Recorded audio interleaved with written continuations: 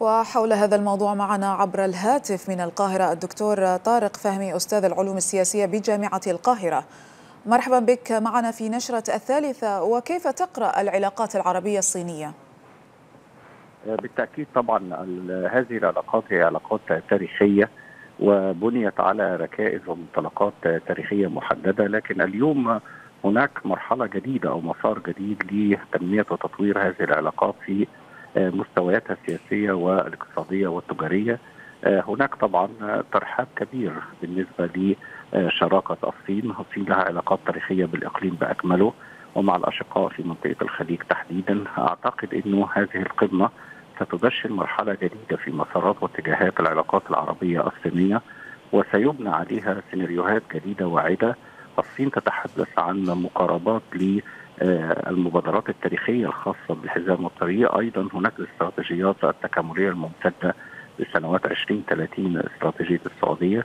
أعتقد مهم جدا أن إحنا الآن نحدد نمط تحالفاتنا العربية. هناك فرصة ذهبية للدول العربية. حضرتك في صياغة فكرة ورؤية وتصور جديد تجاه التعامل مع نعم. القوى الكبرى الرئيسة في الإقليم سواء كان الصين أو روسيا أو الولايات المتحدة.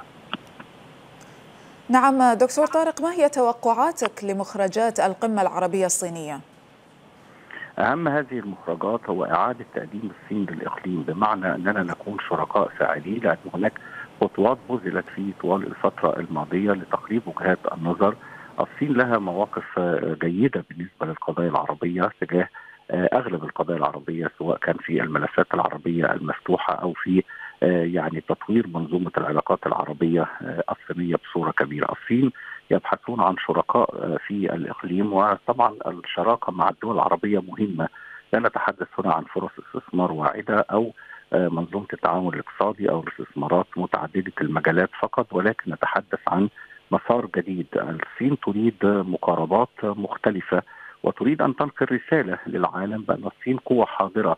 هكذا خرجت يعني مخرجات الحزب الشيوعي الصيني في الأسابيع الأخيرة وأكد على طبيعة نمط العلاقة ما بين الصين وبين الدول المهمة بها وإحنا طبعا إقليم مهم للغاية وأعتقد أنه الجانب الصيني سيسعى لهذا أهم هذه المخرجات في تقديري نعم. هي وجود آليات تنفيذ لأغلب ما سوف يتم الإعلان عنه لأنه ما يتم الآن في إطار منظومة العلاقات تجاريا واقتصاديا واستثماريا جيد ويبنى عليه وواعد ويؤكد بطبيعة الحال على خصوصية العلاقات العربية وخصوصا الخليجية مع الجانب الصيني. نعم من القاهرة الدكتور طارق فهمي أستاذ العلوم السياسية بجامعة القاهرة شكرا جزيلا لك.